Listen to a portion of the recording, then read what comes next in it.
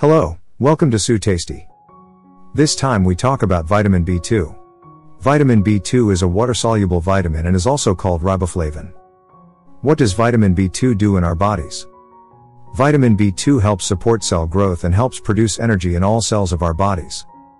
Vitamin B2 helps regulate the body's metabolism.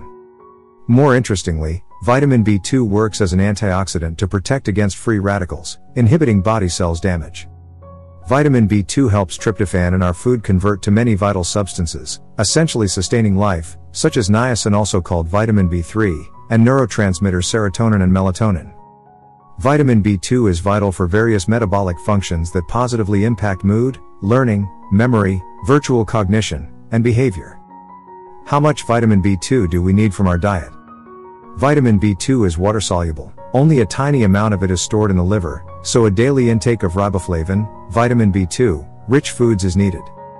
The RDA for vitamin B2 for males 19 and older is 1.3 mg, and for females 19 and older, the RDA for vitamin B2 is 1.1 mg. RDA means recommended dietary allowances. RDA is the dietary intake value that represents what you need to take on a daily basis. What are the excellent food sources of vitamin B2? Milk and dairy products are the primary food sources of vitamin B2. For instance, 8 ounces of fat-free yogurt can give you 0.4 milligrams of vitamin B2. 1 cup of low-fat milk can give you 0.5 milligrams of vitamin B2. Some animal organ meat, liver, kidney and heart, are an excellent source of vitamin B2. For example, 3 ounces of beef liver meat can provide you with 3.5 milligrams of vitamin B2. Enriched bread and other grain products are a good source of vitamin B2. Eggs, leafy green vegetables, meats, nuts and seeds also supply a smaller amount of vitamin B2 compared to dairy products. For instance, 1 ounce of almond can provide you 0.3 milligrams of vitamin B2, equal to the amount of vitamin B2 obtained from 3 ounces of roasted lean pork loin meat.